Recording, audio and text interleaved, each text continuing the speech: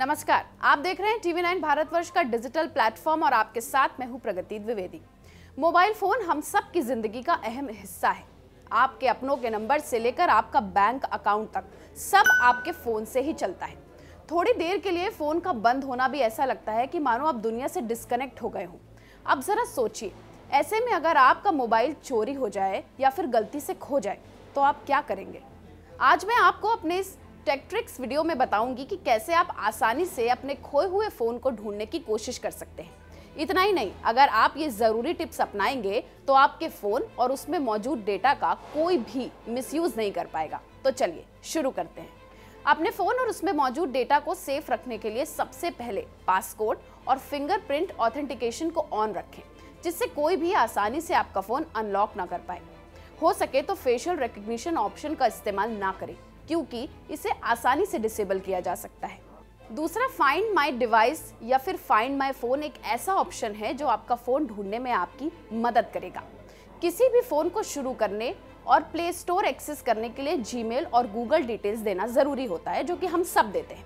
Phone setup करते हुए आप सेटिंग्स में जाएँ और सिक्योरिटी एंड लोकेशन ऑप्शन में जाकर गूगल के फाइंड माई डिवाइस ऑप्शन को ऑन कर दें। इससे ये फ़ायदा होगा कि फ़ोन खोने या चोरी होने के बाद भी आप अपने फ़ोन को आसानी से ढूंढ सकते हैं। लेकिन सबसे ज़रूरी बात, मोबाइल फ़ोन चोरी होने या खोने पर सबसे पहले आपको पुलिस स्टेशन में एक एफआईआर दर्ज करानी चाहिए। मोबाइल चोरी की रिपोर्ट आप ऑफलाइन या ऑनलाइन दोनों तरह से दर्ज करा सकते हैं।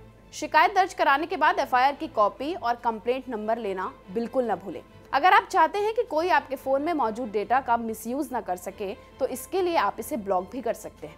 कैसे होगा ब्लॉक, ये भी समझिए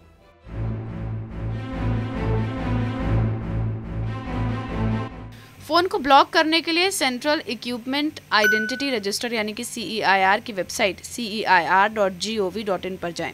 सी के पास देश के हर मोबाइल फ़ोन का डेटा, जैसे कि फ़ोन मॉडल, सिम और IMEI नंबर मौजूद रहता है, जिसकी मदद से चोरी हुए मोबाइल को आसानी से खोजा जाता है, साथ ही मोबाइल को ब्लॉक और अनलॉक किया जा सकता है सी इन पर क्लिक करने पर आपको तीन option block slash lost mobile check request status और अनब्लॉक फाउंड मोबाइल दिखाई देंगे।